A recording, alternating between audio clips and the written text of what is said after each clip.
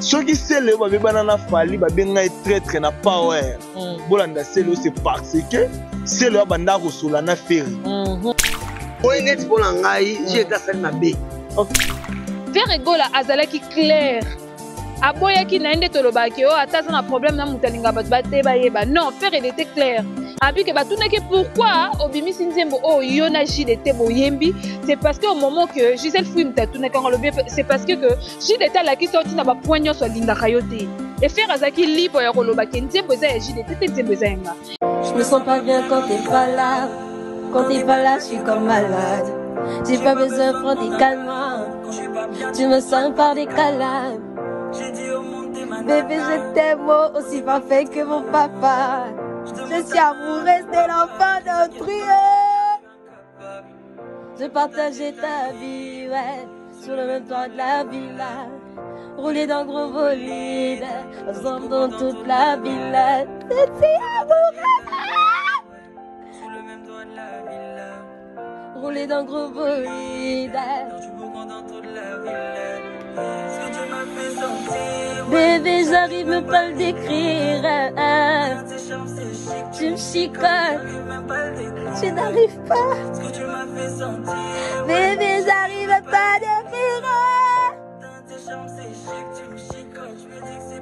Non, c'est pas possible. C'est pas comme tous les hommes, non. Batu bayate, obanda bango mabe. Obanda bango mabe. Invitation lokola ardoise. Mais avec divine, ba invitation en bois. Neti kaka basali yango na Joseph Tata Moboko ya Yesu. Grand menuisier. Ba invitation en carton na ba fololo nango.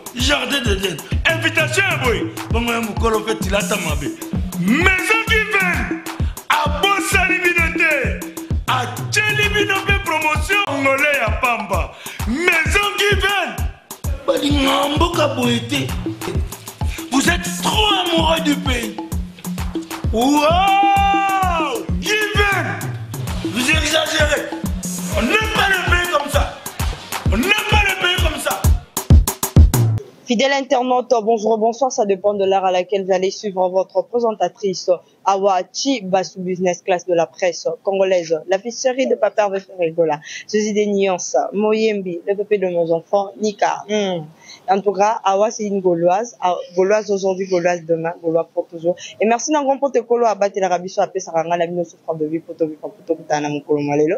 Et beaucoup continuez toujours ko s'abonner massivement na votre son Congo Esengo officiel télévision plus qui veut dire que yo mesdames et messieurs vous ne serez jamais dessus awa ci basu aza na pona ba actualité nazanga moko te sur plateau nazali euh, na Miss Koulibaly euh, lelo po boko découvrir ye na na émission na biso ya sika analyse oyo tozo sala ces derniers temps boko découvrir Clésis Eis moko mboso de la presse congolaise ye cordon ya chaîne na biso et pourquoi pas à Joyce Banzema de la presse affectueusement je te salue toi qui es derrière la caméra Arnold Matmona et pourquoi pas à l'âge du stade de Marty Tonton Guilain Fipa et à Général Manager euh, Tonton Clovis Fimpa, je vous salue affectueusement et à maman Clovis, à maman euh, Doris Fimpa, maman ya bana, maman ya motema monene, maman aliaka na bana.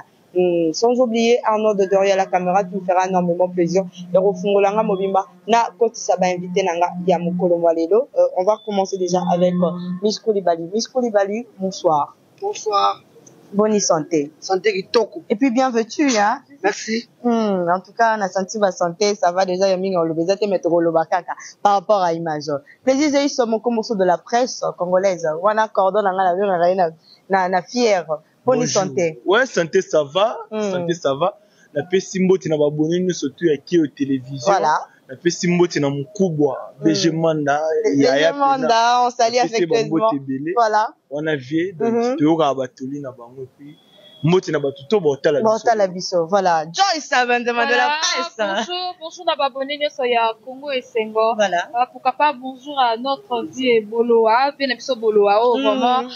azalaka toujours kaka wana mpo na biso napesi vie bolowa mbote et voilà bonjour euh, à toi ya bruno lubika mbongo ya popo mpo na ye mbongo ya salite ezalaka te bonjour à toi présidente desi kabuscop mes condoléances euh, mpo awuti koperdre mwasi na ye Euh, bonjour à gene coiffu à gene jeune garçon alekili bato nyonso na sama nzaka na entre ethiopie pourquoi pas dire ngom bonjour à toi soldat Eh, coiffure so bozo mona biso to changer ba coiffure esa bino pasi te tozalaka na soda coiffure bonjour na bino nyonso bolingaka Joyce Tumba autre m'a dit Benzema de la presse nazalaka kaka mpo na komemela bino rien que la vérité ta siko vérité maye pa wa c'est que il faut bo se préparer mhm. Voilà, euh, merci. Narobo Sanayote euh, Jordan Yulu depuis Paris, et depuis États-Unis plutôt. En tout cas, Mikolo Nadala Kiming Nabata Paris, Jordan Yulu, je te salue affectueusement. Jordan Yulu, na pese bambo te belé, mm. nga na bien avec Télé News. Jordan Yulu. Obibi si bisu barokata. Ah. Tolingi te. Barokata parti wana. Voilà, to solo la mke, cordon. Kangela nga kaka mikondo bandisi wana. To solo la accord arena ya faire gola juste des news. Annonce wana tango faire annoncer que ako livrer concert na accord arena. C'est le 25 euh, février 2024. de yo moko tango oyokaki yango oyokaki ndenge nini d'abord nga esalaka nga bien ebakisi su kaka eh, nakobani touche moko boye ya guerre moko boye musicale oyo eza loyal okay. eza te ke nde ezalaki biso tosali bato mosusu basalaka te te mm. eza nango sala esilaka te babuki yango te donc ferre egola azalaki na moma na ye mm. oyo akoanonse mpo bato babeta Mhm. e moment ngo ekomi annonce mhm. mais eloko esali nga mwa kobanga eza par rapport à temps ya durée babiye te durée ondire eza mwa moke toza totikali kaka na trois mois jésus babangelaka ye te mwana nzambe ayaka lokola ayaka lokola mopaya mais bikamwa so asalaka mokili te nalobi mpe teke nabangeli ye nayebi ke suis trop sûr de lui ayebi makambo nini osala je pense pas ke atyango bongo sans pour autant réfléchir okay. non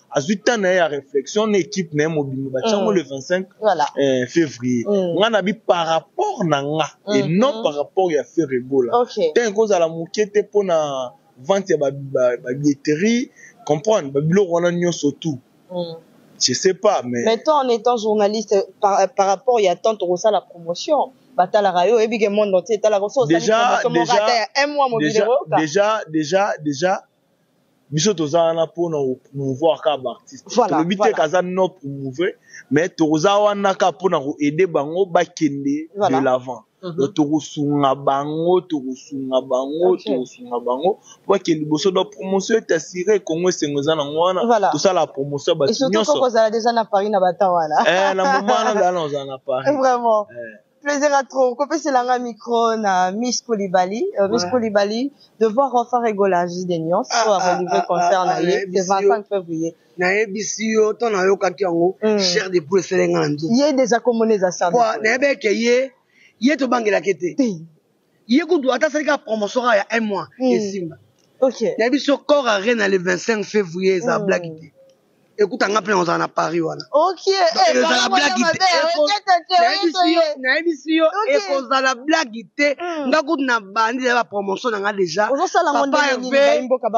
papa herve yo oza chair de poule mm. elombe mobali jama banga okay. epuis yo olobaka mingi te ah, ah. makambo nyonso oyo osalaka jamais esimba te mm. esimbaka kaka okay. bayebisi yo cor arena wana ezala blagi te mm. aosala plein ya krake mm. omoni cor arena mm. eza ya fere okay. kaka ndenge atondisaka martyr mhm. nde mpe kaka okenda bango kaka ntina suka mm, po kolobaka biye double martyr akobeta yango epuis akobeta yango ekozala mpe so na bis encore na yango papa herve aza somo mm. babi mikolo oyo ye nde makambo bana poto bana poto le 25 février mm. bomona makambo no bomona te okay. bomona baplein oyo mpe nano esalama te okay. papa herve tobangelaka ye te okay. papa herve nde makambo mm -hmm. eh, jesus de nuance babi eblaki te mm. babi ayemba kala mm. ye babiloko wana ye babiloko na ye okay. papa herve eh, eblaki te babi cor arena tobuka yango toko buka yango. Merci beaucoup Mister Ibale. Alors euh, Joyce avant de voilà. monter te passe le micro par rapport ya ya euh, nouvelle oyo Ferre voilà. a annoncé biso kotala bongo Ferre a annoncé que 25 oyo février 2024. Euh, voilà.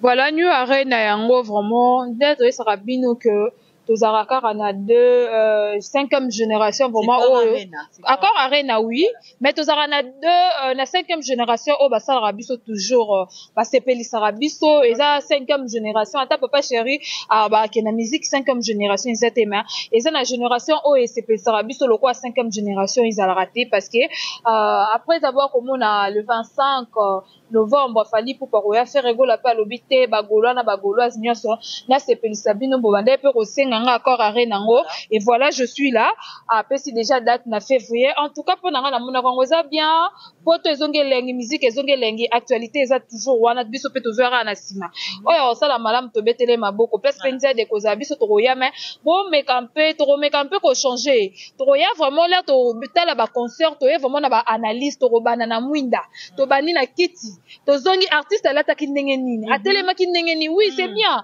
parce que toyakaka ah tosali analyse boyeboyeboye non mhm.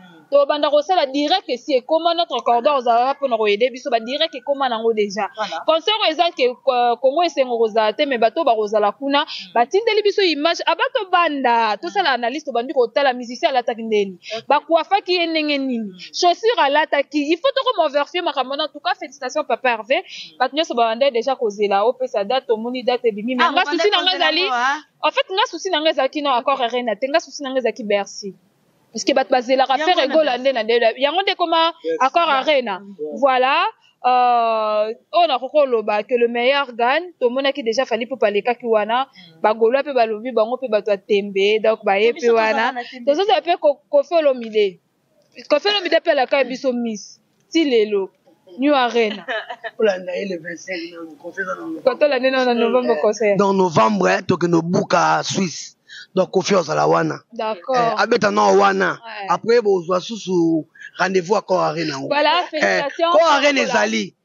eya mpo na biso nyonso tobeta yango eza nango me eloko nga mpe na kosenga lisu mpo nazongisela vraiment awa mikro bakombata botika concert wana bakombata s'il vous plaît botika vraiment bercy ya ferre gola ebeta mhm. parce que euh, challenge oyo bato banda kozela ezalaki bercy mhm. donc bosunga biso botika mpenza na bercy so ebeti après boye so mpe bokanga ye me botika eka amata abeta parce que euh, ah Totala bea sur mais affaire combattant na ba combattant tolembi mpe bino ala ba combattant tolembi mpe bino Joyce eloko elelisaka Pepe Wera palala mpe akoma so batuli ye question na na plateau Pepe yo beta oyokaka palala la palala mpe tizoke nazoyebisa yo musique ezongi elengi en tout cas cordon akozongisela bazongisela ngai yo lisusu micro komona bongo ba sortie médiatique euh, ya papa na biso euh, JDT Mulopo oyo azalaki bongo na na chaise jaune ya mhm. ndeko na biso euh, fauteuil jaune fauteuil jaune voilà komona bongo ye alobi ye aza mokolo ya ferre musicalement na age na nyonso eye ndenge aza wana azalaka pour fali te pour ferre te mais biso tomoni ye azalaki na dynastie volume 2 na ferre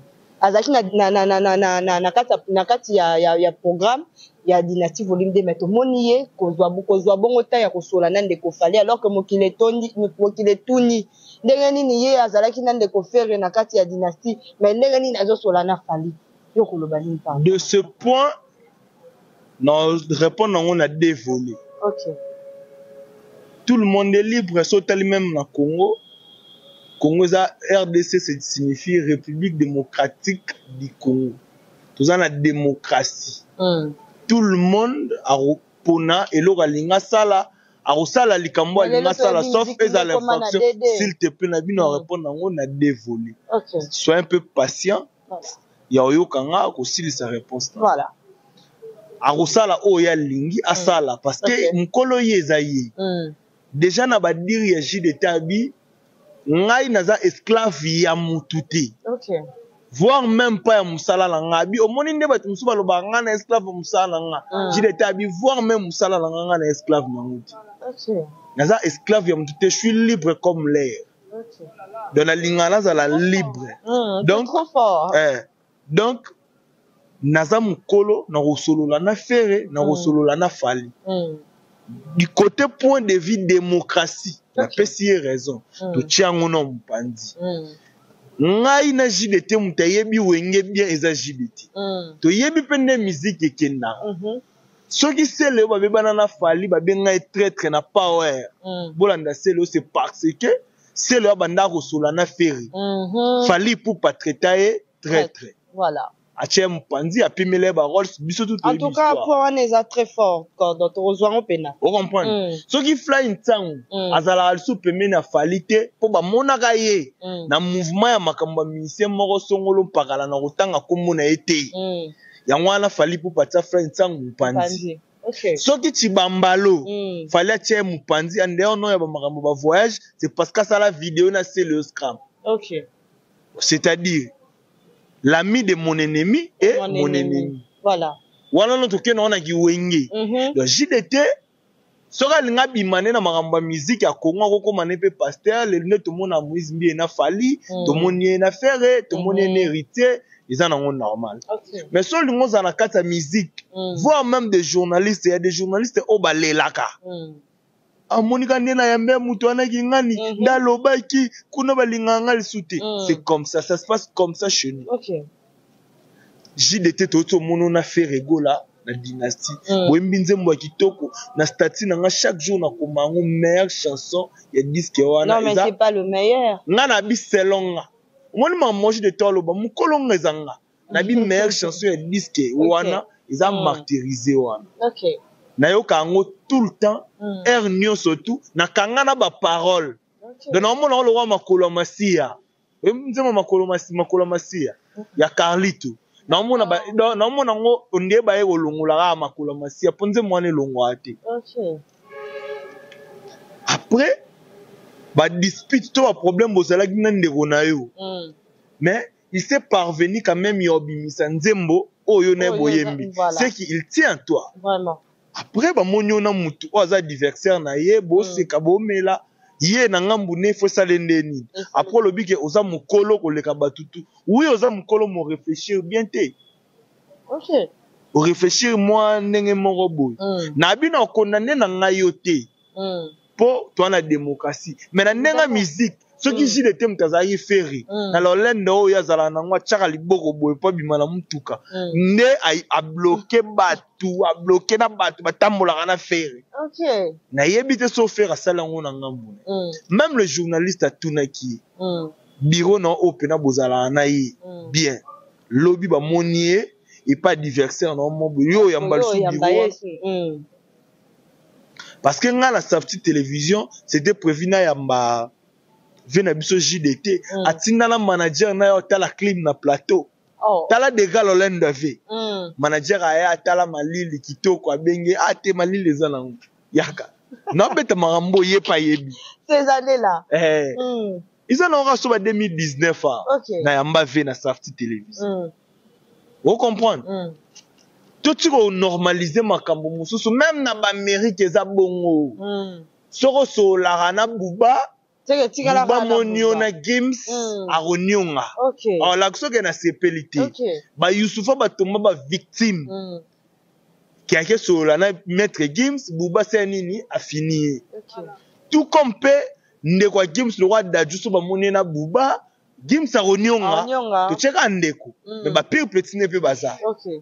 ekoma te nde yo okende yango ngai na mokolo mokolo mokolo yango ya nini mokolo yango ya nini Ah, Ya aja sanga na bra. te to kritike te Mm. makambo ya musique so totie bamakambo bamikolo to bamakambo ya mikolo Yo- yo- yo- hier j'étais avec hier Ya j'étais avec Jacqueline, bébé ya kero Jacqueline. Mm. Ya Jacqueline Eh, mokolo. hier j'étais avec bébé kero Mm. mwana kimokolo wana Mm. à l'époque ntango kerosene asala succès mm. jile etalaka da mokolo me bakerosene mpe bazalaka kaka donc miziki wana zela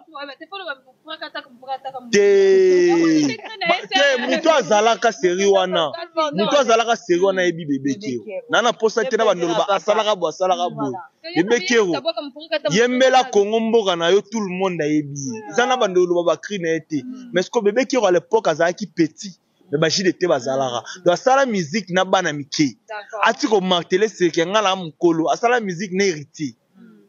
asala musique na bill clinton baza baleki na ye okay. nga mokolo mokolo mokolo wana okomi age moko okomi age moko na papa yamba to na kofi olomide po ah. papa yamba na kofi olomide à l'époque ya jb na wera tomona bavie bazwa batendance okay. oyo mpena ya tendance wera oyo ya tendance jb mm. ezala mm. ye aoya ochange yango te et puis même ata nde totambolaka boye soki oza ennemi na nga mm. namoni masta na nga aza pire yo na koekarte masta wana po po batya nga bi elekaka nsima na ye mm. donc eloo nakoloba yango wana du côté point de vue na ye kaza libre comme l'air oui aza libre comme l'air kende place oyo liberté ezali mais place oyo oyo peut-être okofaire souffrir moninga mo tu penses que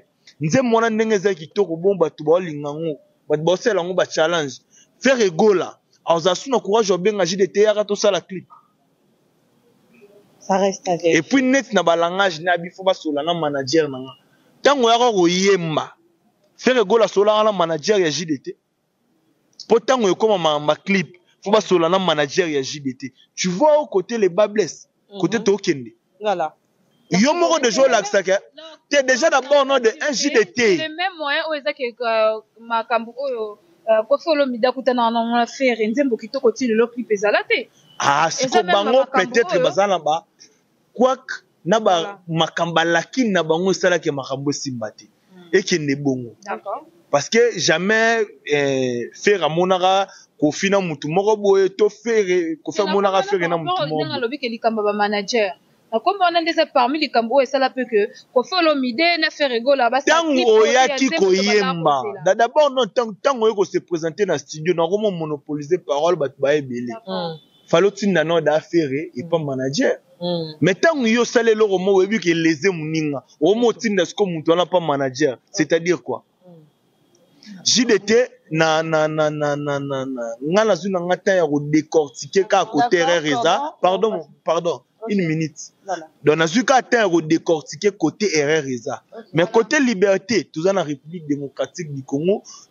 tout le monde peut faire ce qu'il veut mm. sauf que ezala nde infraction te voilà. donc c'est un peu ça voilà euh, miss koulibaly opesela nga avis par rapport ya komona bandeko na biso eh, frère egola moi neti mpo na ngai mm. je ete asali mabe ok mabe pourquoi asali mabe parce que euh, nanu l'autre ela abenga ye bayemba te po mikolo euti ekoleka si ete azali na mwa bese mm. aoyokana te mm. aosala succès te aobeta te aza na actualité te okay.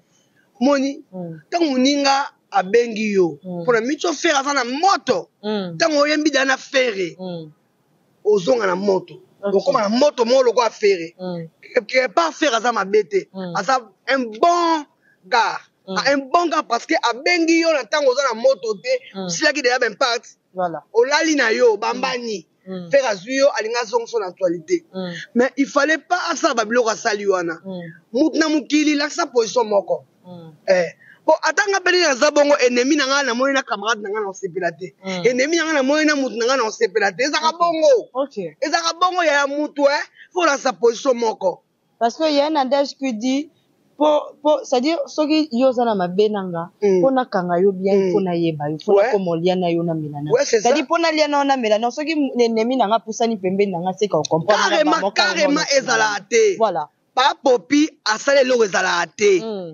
que que ça soit aza mukolo mm -hmm. mais asali eloko ezalaka te miziki mpe kimukolo wana ezalaka nango te okay. mpona mico mpo olalaki na yo mm. fere nde azwi yo mpo omoni mikolo ekomi kaka ayembi na fere mm. mwa moto wana mm. engo meme kitoko mm. alinga akende bien ntango okay. boyembi na moninga boyembi kitoko problème eza nango te mm. mamba clip ekomi yo sola na manager mm.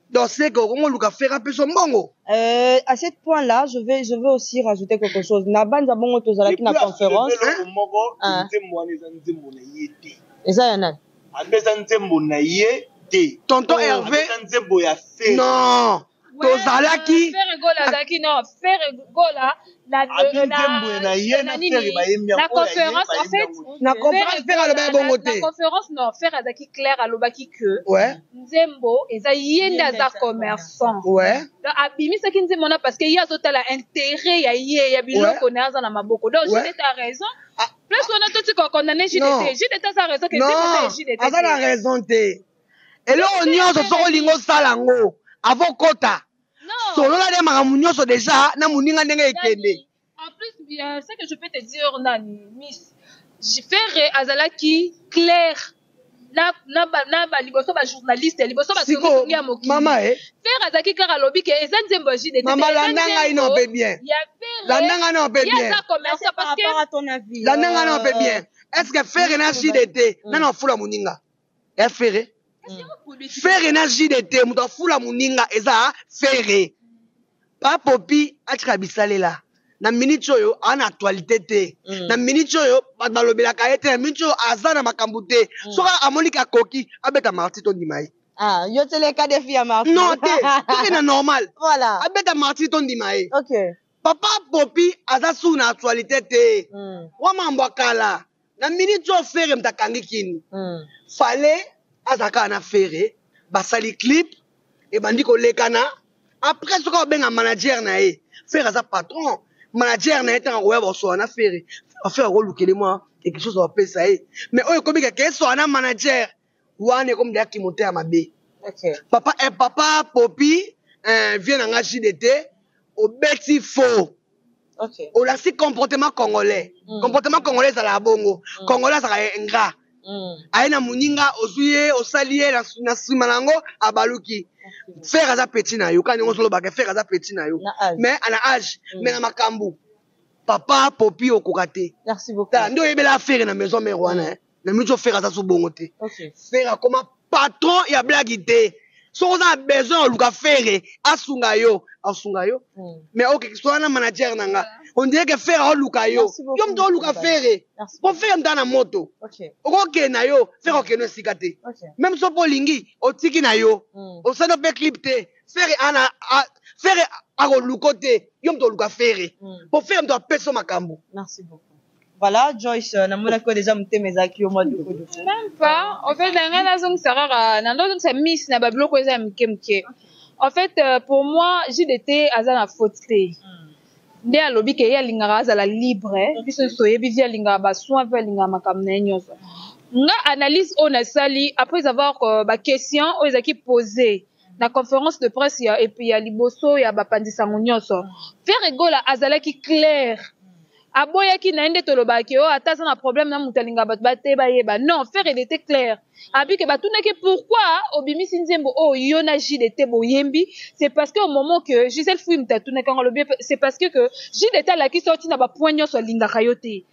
Et Ferre azalaki libre ya koloba ke nzembo eza ya JDT te nzembo eza ya nga. Donc JDT aza pe na makasi po ya oyebisa bana ya monde entier te ke nde naza boye, il faut tosala clip. Po lelo tokokoma na dossier ya clip ekomi dossier mosusu. Parce que biso nionso toyebi ke JDT na Ferre Gola bayokanaka te. Balakisi yango biso clair ke relation ezalaka te mais batikali na relation oyo eza ke eza business. Donc soki bake place moko batie mbongo Ferre yaka, Ferre asala kaka interet na ye ya mbongo aye asali mosala nde bafuti ye mbongo JDT père oya kotala interet ya ye ya mbongo po tika okondane JDT aza claire ye moko alobi ke aza claire aza pe mokolo aza tutu nde biso baluba tolobaka aza vraiment tutu soki andimi non po tutu fo ozala na te ye aza tutu non c'est pas parce que non non non non miss bo contredire nga te pardon c'est pas parce que eh. JDT aponi kokoma lelo to aponi ko euh, kobongisa relation ya ye na Fally Ipupa place moko nde toloba ke JDT aza aza soki mutu mabe to avant akende pa Fally Ipupa ye déjà na Ferre Gola esimba déjà te tomonaki yango ala bazalaki na ba préparation na bango ya dynastie leur bazalaki na makambo na bango banda bongisa JDT atikalaki kosala JDT atikalaki kosala ah. video na Fally te après kobebana na, na Ferre Gola, nde JDT ake kokutana na Fally Ipupa. Maintenant, on, on doit se poser des questions. Pourquoi asali yango après kobebana ya ye na Ferre Gola ake koluka relation wana. Mais non, aza tutu, a mukolo nde moko alobaka aza mukolo, a na eloko osala, ako se decider na vie na ye ye moko. Totika pe ko condamner mutu ke azalaki na ngambo, akati na ngambo, peu importe ba oyo nionso batu baleka. Etant nga vraiment en tout cas hein, Je vous dis nazwa kaka maloba oyo Ferre Gola aloba yango ngai na saleli na minute na ko condamner na ngai euh, JDT te c'est par rapport que Ferre Gola ye moko abaki yango ezalaki business yango nzembo wana ebimi soki Ferre Gola abaki atia euh, kiwenge nde tolobaka atia banini alingaka perdre ye moko mpe deja alobaki yango soki atiaki kanda atiaki boye alingaka perdre accord ye aza na ye producteur atali mm -mm, eloko eza na interet na nga azui na ye ata na minute oyo so babi ke ferre gola toza to mosusu na 200 millions de dollars mm. toza kaka na besoin ya jdt bosala elo mombe ye otala interet ya bana abaki bana ne bakoli abaki ye moko mpe esi akoli donc mpo na kocomprendre jdt aza tutu totika jdt na bapropo nde totika jdt na kikamarade na ye aluki totika kocondamne on va condamne pourquoi merci beaucoup joyce joyce abendema voilà euh, mesdames et messieurs vous allez comprendre euh, c'est co-animation ndeko nyonso akoluka abimisa oyo aza nango mpo tokende mpe na suka tokosukisa bongo na sujet ya ndeko ya papa na biso babi ndombe babi ndombe oyo abimisaki ba sortie médiatique na ye que voiture ya liboso ndeko fali atambola nango na mokili oyo ezali voiture ya ye est ce que ce vrai ou faux bandeko toza na bango na plateau bokoede ngai euh, cordon nakopesa deja maloba Voilà. Euh, je vais répondre d'une manière courte. Ok. Pour esunga biso pour Arnaud asala pena sili ketoshita. voilà.